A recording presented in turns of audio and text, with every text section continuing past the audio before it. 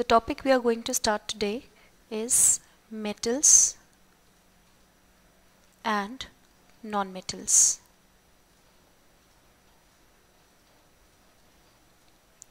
Starting with the brief introduction of metals and non-metals.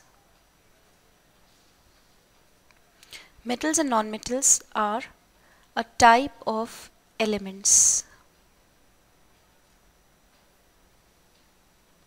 At present, there are 118 elements known to us which have been broadly divided on the basis of their properties into two main groups as metals and non-metals. This classification was given by Lavoisier. Coming on to the position of metals and non-metals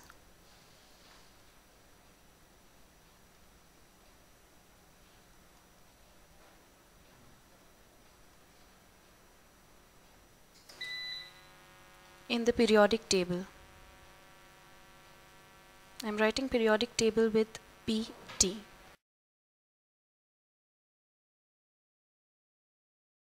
The diagram shown here is an outline picture of periodic table which shows the position of metals and non-metals. The metals have been placed in the extreme left hand side as well as in the center of the periodic table while the non-metals are placed on the extreme right hand side of the periodic table.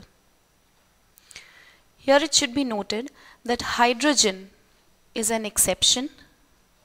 Hydrogen is an exception as it is a non-metal but it is placed on the left hand side of the periodic table.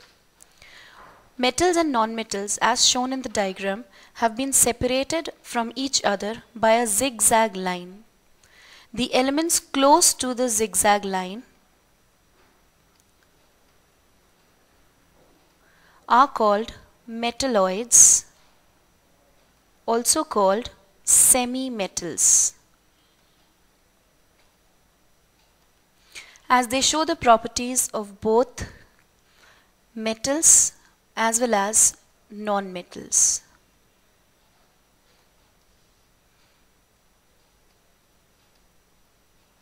So metalloids are the type of elements which show the properties of both metals as well as non-metals. Some common examples of metalloids are boron, silicon, germanium, etc. Moving on to the general properties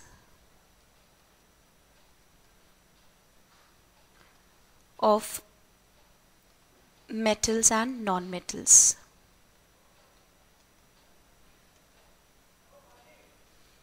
Starting with the electronic configuration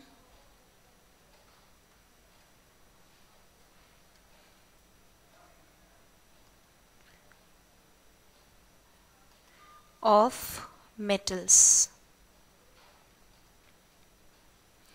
Electronic configuration represents the arrangement of electrons in the atom of any element.